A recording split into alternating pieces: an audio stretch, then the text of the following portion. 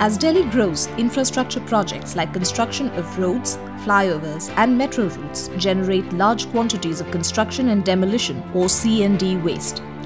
The city of Delhi itself generates 4 to 5,000 tons per day of C&D waste. The unsegregated municipal waste, often mixed with C&D waste, gets dumped finally at the various dump sites of the city's low-lying land for a price in public land or along roads, ridge areas or riverbanks in an unauthorized manner. Combined with the burning of waste and road dust, C&D waste contributes to over 20% of Delhi's alarming air pollution levels. In this context, an initiative by North Delhi Municipal Corporation with IL&FS Environment is a ray of hope shining through the blinding construction debris in the nation's capital. This unique project at Burari Jahangirpuri is based on a public-private partnership framework. हम लोगों ने IL&FS के साथ में CND plant को PPP mode के ऊपर इसको एज ए पायलट प्रोजेक्ट हमने चालू किया है जो टाइल्स बनती हैं मैनुअल कवर बनती हैं पेवर टाइल्स बनती हैं एमसीडी इस प्रोजेक्ट को काफ़ी सक्सेसफुल मान रही है मलबा जो एमसीडी का ही आ रहा है, वो हमारे यमुना में ना जाके, वो हमारे नालों में ना जाके वो हमारे मैन होल सीवर लाइन में ना जाके वो हमारा एक मटेरियल को हम रिसाइकलिंग कर रहे हैं रीयूज कर रहे हैं और ये इन्वायरमेंटल पॉइंट ऑफ़ व्यू से ये बहुत ही फ़ायदेमंद है It is India's first large-scale operational C&D recycling facility. The plant is compliant with NSW 2000 rules and was originally set up to manage 500 TPD or tons per day of C&D waste. Recognizing the pollution abatement capability of the facility, Delhi Pollution Control Committee enhanced the project's capacity to 2000 TPD.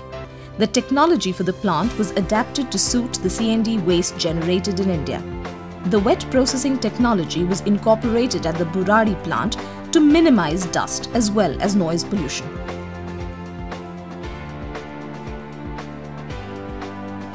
The facility gets mixed C&D waste from designated points in three zones of North Corporation, Karol Bagh, Sadar Paharganj and City. The waste is crushed, washed and recycled into aggregates which in turn are converted to ready-mix concrete or RMC, cement bricks, hollow bricks, pavement blocks, curbstones, concrete bricks and manufactured sand. मैं अपने company tiles वगैरह purchase करता हूँ हम builders के लिए काफ़ी अच्छा एक ऑप्शन मिला हुआ है The facility uses recycled water for processing waste. The plant is able to recover and recycle about 95% of incoming C&D waste. The facility has ISO 9001, 14001, 18001 and SA 8000 that is social accountability certifications. अब तक करीब करीब 17 lakh metric ton मलबा process हो चुका है इस processing के में करीब करीब 95 परसेंट रीयूजेबल मटेरियल प्राप्त होता है पाँच परसेंट जो है सो डिस्पोजल हो जाता है a recycled aggregate in this process reduces the consumption of fresh stones and sand, thus conserving our natural resources and helping in reducing sand mining. The plant reduces the burden on landfill or dumping sites of the city and saves precious urban land. The Burari C&D Waste Management Facility also provides employment opportunities to local North Delhi residents. With a steep rise in air pollution related health problems and judicial interventions, urban local bodies face enormous pressure.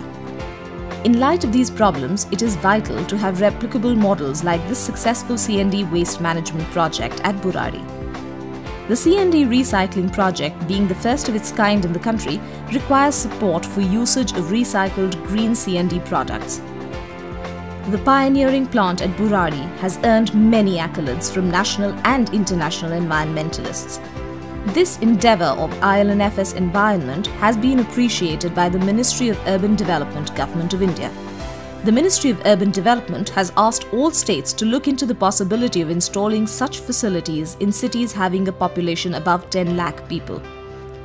The project has provided a paradigm shift from illegal dumping to scientific processing and recycling of C&D waste.